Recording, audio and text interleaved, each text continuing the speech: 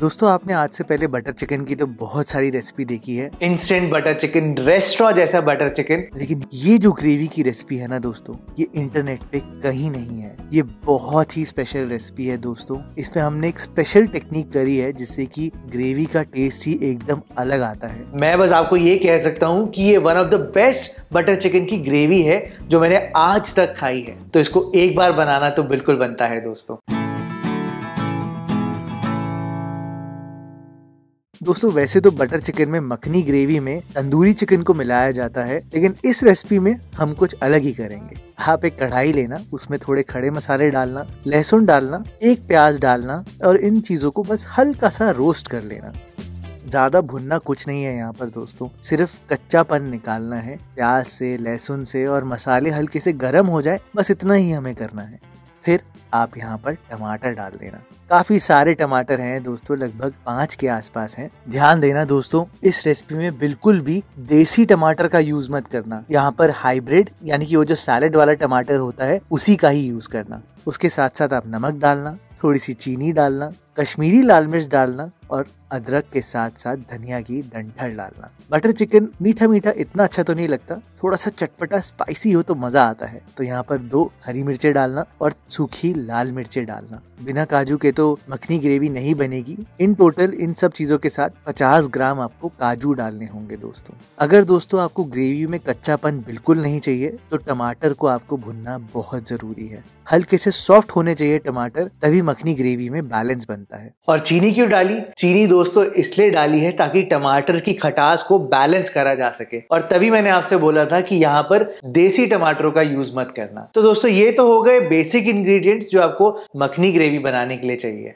लेकिन इसमें एक चीज़ जो है, वो डालनी बहुत ज़रूरी है, जो कि बटर चिकन का स्वाद बिल्कुल डिफरेंट ला के देगी। वो है दोस्तों चिकन अब बटर चिकन में बेसिकली फ्लेवर्स क्या होते हैं? मखनी सॉस और तंदूरी चिकन के। लेकिन मैं इस रेसिपी में तंदूरी चिकन नहीं डालने वाला दोस्तों। मैं कुछ ऐसा करूँगा जिससे वो बटर चिकन वाला टेस्ट खुशबू तो आ जाएगी, लेकिन आपको तंदूरी चिकन बनाने की कोई ज़रूरत नहीं पड़ेगी। चिकन के जितने भी लेग पीस होंगे, उनमें आप ऐसे कट लगाना बिल्कुल मत भूलना। और ऐसे जब हम नमक में पकाएँगे तो चिकन के अंदर तक पूरा फ्लेवर आएगा। तो इसी टाइम पर आप यहाँ पर चिकन के साथ साथ थोड़ा सा मक्खन ज़रूर डालना और लगभग तीन चार मिनट तक टमाटर, प्याज, इन सब चीज़ों के साथ चिकन को भुनना ज़रूर।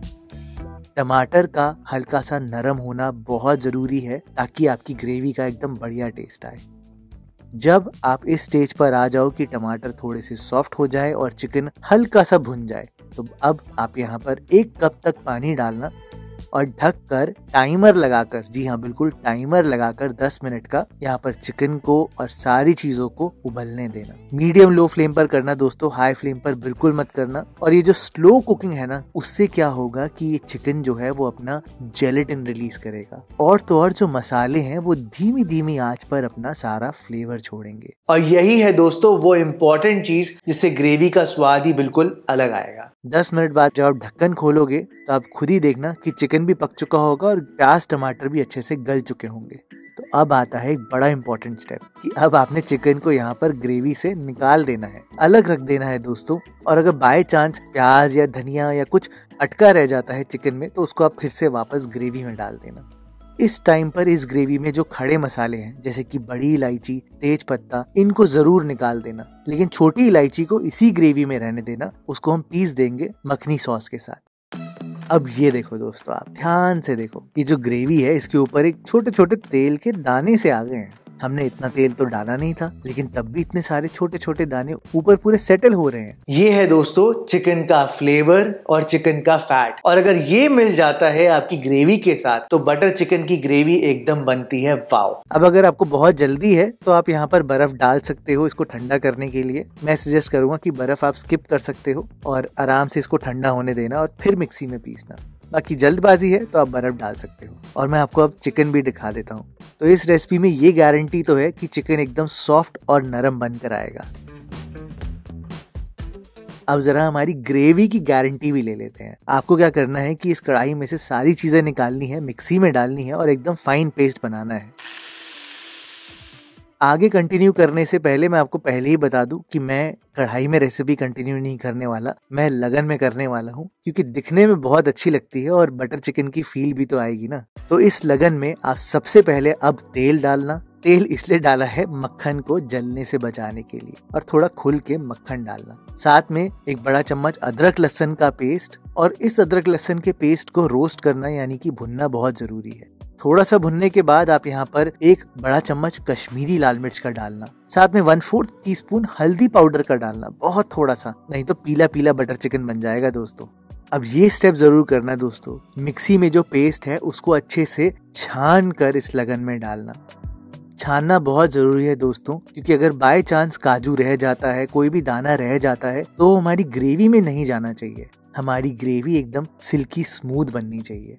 सीधा ही आप इस मसाले को डालना और गलती से भी इस मसाले में इस टाइम पर पानी नहीं डालना। और मैं तभी आपसे कह रहा था कि अगर आप अवॉइड कर सकते हो तो आप बर्फ़ मत डालना क्योंकि जितना ज़्यादा पानी होगा उतना ज़्यादा ही टाइम लगेगा इसको पकने में। ये जो स्टेप है दोस्तों बहुत इंपॉर्टेंट है। यहाँ पर आपको ढक कर दस मिनट तक इस ग्रेवी को अच्छे से पकाना है एकदम मीडियम लो फ्लेम पर। बीच में एक बार दोस्तों चला ज़रूर लेना, नहीं तो जलने का डर हो जाता है। लेकिन 10 मिनट बाद आप खुद ही देखना, बहुत ही अच्छी, बहुत ही बढ़िया टेक्सचर वाली मखनी ग्रेवी बन के तैयार हो जाएगी। है ना? एकदम अमेजिंग बस दोस्तों, अब सिंपल सी चीज़ें रहती है, लेकिन एंड में एक कमाल करके दिखाऊँगा आपको। आप अभी यहाँ पर फ़िलहाल चिकन डाल देना, चिकन के साथ साथ गरम मसाला डालना, भुन के कसूरी मेथी डालना, साथ में आधा चम्मच ये है इलायची का पाउडर, ये ज़रूर डालना।